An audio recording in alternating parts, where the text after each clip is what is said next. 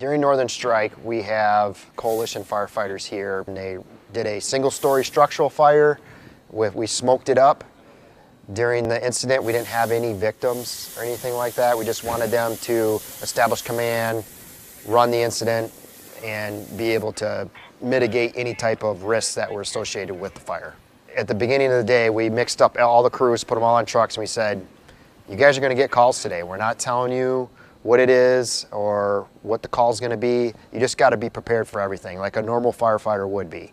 And it is dark.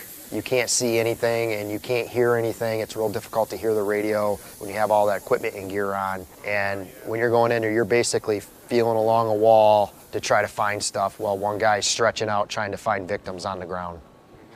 It's kind of cool because you're seeing multiple countries who don't know each other's tactics, have to work together as a team, figure out what the incident is, and then try to mitigate it.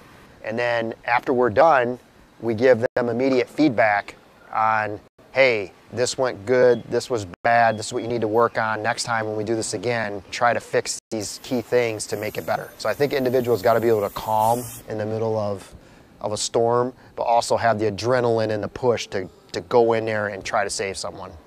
I think the Alpena CRTC is a great place to train. We have state-of-the-art training center here. Um, now that we're a part of the NADWC, it opens it up to all services to train here and do different exercises. I really think that the more people that come here, the better trainer will be and a better will help the mission and a better help our coalition firefighters to make them a better fire department.